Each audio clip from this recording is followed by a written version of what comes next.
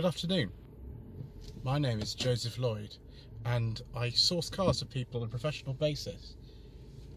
Although most of the cars I source are between 1,000 and 5,000 pounds, very often I've been asked to show something a little bit cheaper on the channel and so I came up with no budget reviews the series where we look at cars that you can buy in good condition with an MOT for under a thousand pounds and you can enjoy driving. We don't film this in an expensive manner. We don't use separate microphones. We don't use fluid head tripods. We don't even use a DSLR but we do have a lot of fun.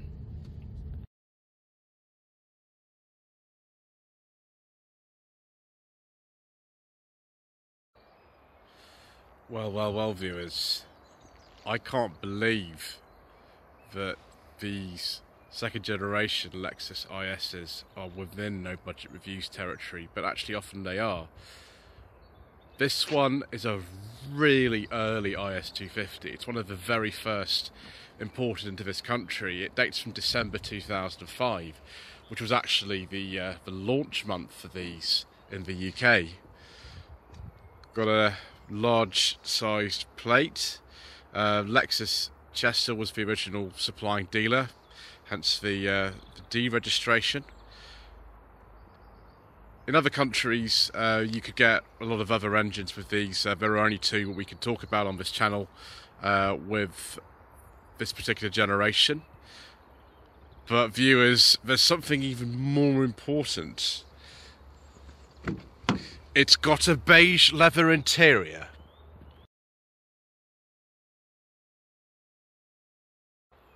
Well, you know that we very much like a beige leather interior, viewers. Um, we'll come back to that in a moment. I think this is actually quite a handsome car. The uh, facelifted ones, there were two facelifts, one minor one in 2008 and more major one in uh, 2010. Do look a bit better, but this is this is fine. It's a, actually a very handsome car.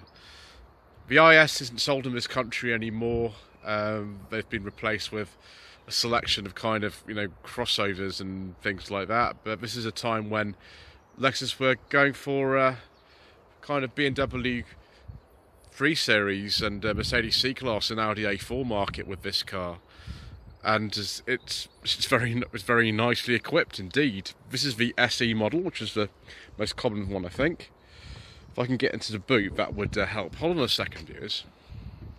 Release is in a really weird place. Actually here, uh, but it's not in the middle at all. Uh, there is a little emergency thing you need to get in with the key. It's not the biggest boot, and the aperture's not massive either. It's only 378 litres, this boot. Bear in mind, something like a, an E90 BMW 3 Series would be significantly bigger than this. So if we lift up here, do we actually get any joy with um, anything we go. We get a luggage cover some Japanese writing, something that falls off. That's not that's not very good. Let's try pulling in another way. There we go. Oh yes, we have a space saver spare and a jack. Excellent. That's better.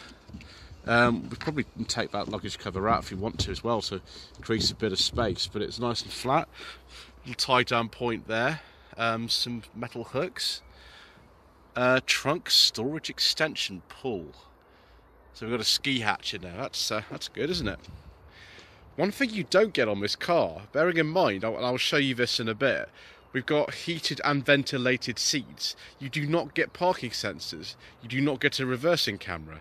They were available on the next trim up, which I think called the uh, um, SEL. It's a bit mean, really, isn't it? So uh, this car was um, with one owner for quite a lot of its life. I think he must have ordered it actually um, before the car was even launched. And it's a manual, which is uh, rather nice. Beige leather interior, V6 engine, manual, six-speed gearbox, in a car that you could buy an example of for around a thousand pounds. Excellent. So I've just shut the door so we don't get in the way of people passing by. It's an interesting door pocket this. It kind of extends like that. You can have it in out. And you can put your bottle of drink in there. I don't think there are actually that many cup holders in here. I'm just going to put the key inside the cup holder here. And as you can see, we've got heated and ventilated seats on both sides. We like a bit of luxury viewers. We like a bit of luxury very much. And look at this. The dials are sort of hidden. But they light up. Yes. Mmm. And we also have dual zone climate control. Now bear in mind this was I think on launch this was like the base model. You could just get a normal IS250 but it was a non-SE below this later on. But I think this was um, the kind of base model upon launch. We've got um, a CD player that will actually uh, play um, I think WMAs and MP3s and all sorts of exciting things like that. There we go, WMA and MP3. Um, I don't know where the aux input is. Um, maybe that's very unusual for a car in 2005 to have that. But oh, actually, oh, oh, oh, I think we found it. I think it's in here. Look at this: locking wheel nuts, an aux input, sliding beige leather armrest. Mmm, viewers, I, think we might be getting too excited.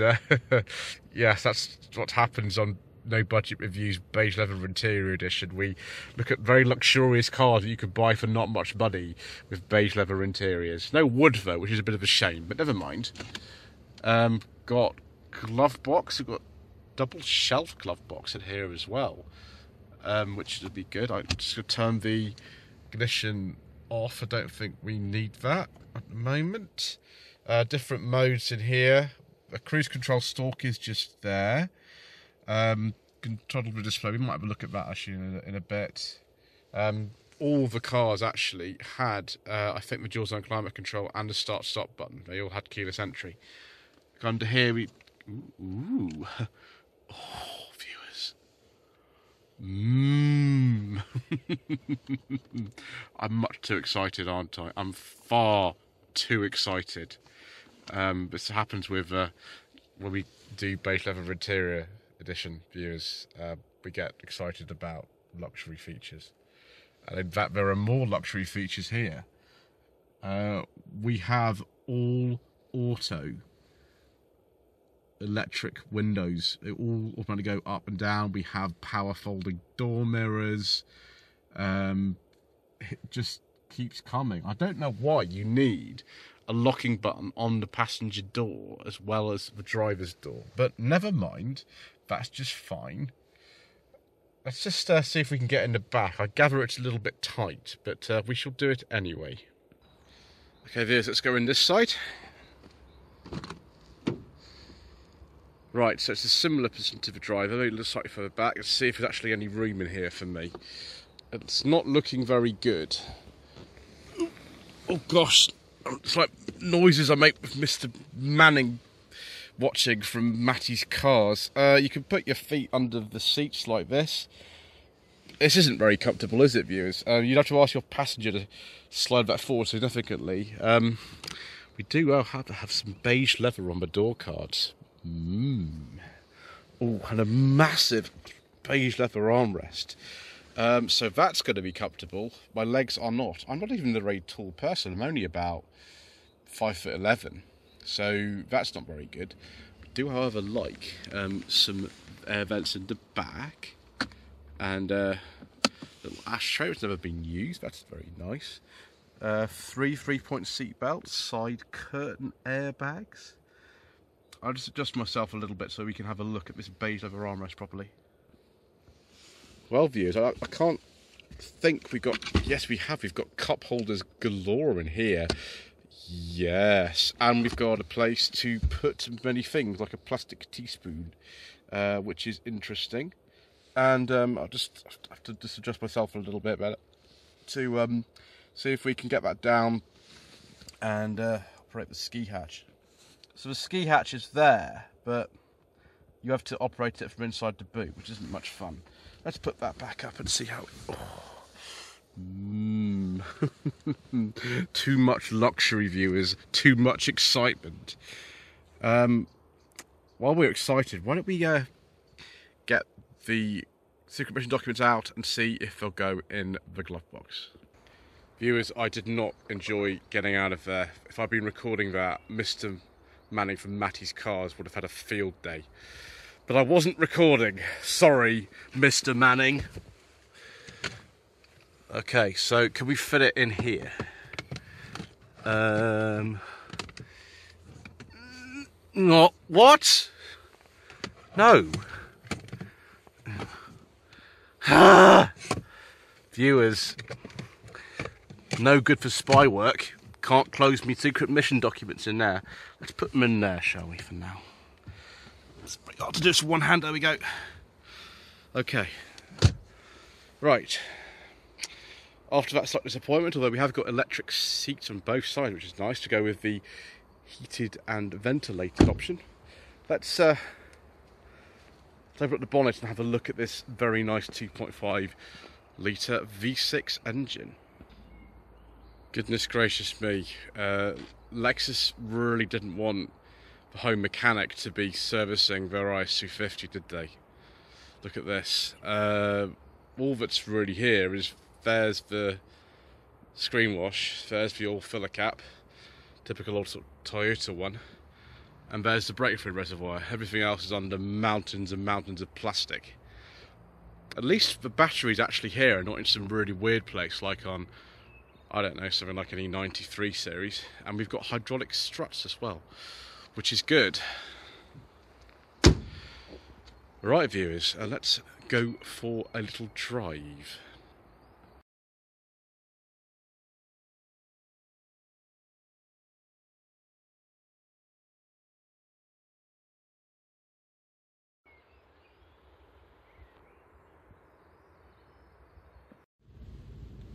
Right viewers, a nice smooth drive in a Lexus IS 250. There were really only two engines in this country that we can actually talk about um, on the channel. The uh, 2.5 litre V6 in this, which generated 205 horsepower, and then the crazy 416 horsepower uh, 5 litre V8, which I can't believe they fitted a five litre V8 to a car like this. It's it's just extraordinary um, to think about that. But they did, and you can buy one. It has much stiffer suspension than this and comes with a standard um, 8-speed automatic gearbox. The uh, normal IS 250 was available with either um, an automatic or a six-speed manual, like in this car. There are also some diesels available, but as usual, due to controversial government legislation and all kinds of other reasons, um, I'm afraid we don't talk about diesels on this channel. So rather than wait an absolute age to come out of that junction to the right views, we'll just come around this roundabout and come back. Which means we can see a bit better how this car handles. So it's rear wheel drive, it's um, based on the same platform. I think it's a, a Toyota Crown and all kinds of other Lex, Lexuses, Lexi. Dear me, it's turning into Alan Partridge again around here. Um, unfortunately, I've had to stop again. what, what is all the traffic around here? Um, we're on the uh, edge of Huddersfield today. I should have asked Steph for my driver classic where the you know most congested area in Yorkshire is, and it appears it's it's right here which is a bit of a shame, but never, never mind. Let's um, let's go around this corner. Oh, that's that's quite nice actually. Steering's on the light side, but I can actually feel it quite well. The engine makes a fantastic noise. It pulls really well. This manual gearbox is quite nice. The clutch bite's quite high, um, which is a bit long. I have to put my seat back a little bit more than I imagined to actually accommodate that. But yeah, it seems seems pretty torquey. 0 to 60 this car's about 8 seconds. It's obviously considerably quicker if you're on the F version. Let's go up into fifth, there we go. Yeah, it's very pleasant. With the cruise control, this nice seated position, the heated and ventilated seats. This would be a really nice kind of car for, for motorway cruising. It would be absolutely ideal for that. Um, but the chassis seems good as well. But I've, I've, I've heard people say the ride's quite firm in these, even if you don't have the um, sport model with the uh, different suspension and the close ratio gearbox. But as far as I'm concerned, it's it's just fine.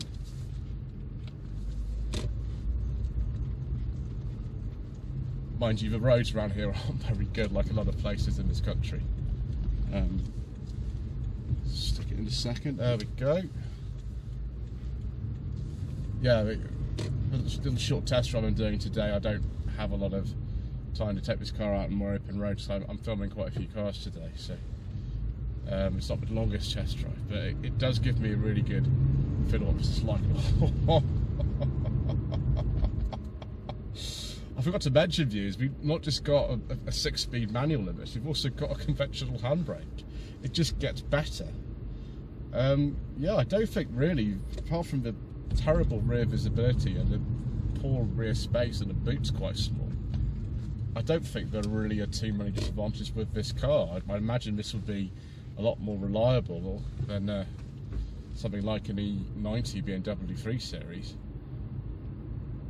And um, this one's only done 53,000 miles, which is brilliant. You can see why Arthur, owns this car, has a big collection of other cars as well, likes using this one on a daily basis. I, I understand entirely why you would choose something like this. And you can run it on E10 as well, of course. And it's Oxford Emission Zone compliant. Wonderful. Lloyd Vehicle Consulting stickers, t-shirts and mugs are available by clicking the link to the Google form in the video description below.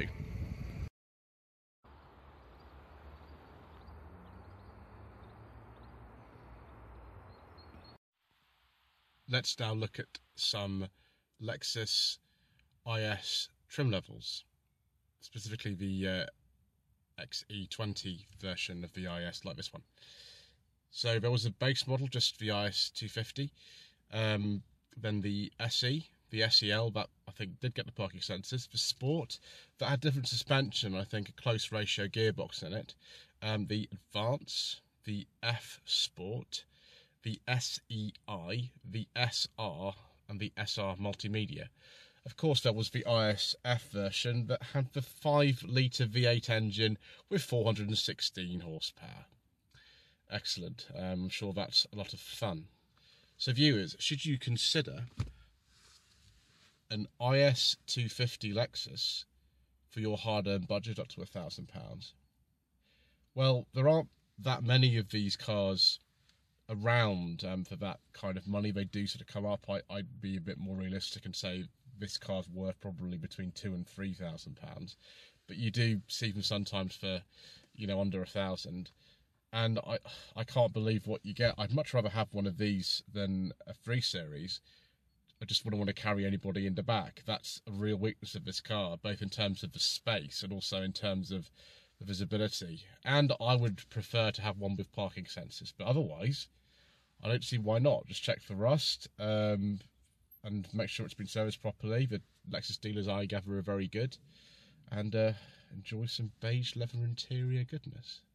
Anyway, thank you ever so much indeed once again for watching. Please don't forget to subscribe to the channel, like this video, leave a comment below, and uh, we shall see you again soon for more inexpensive motoring.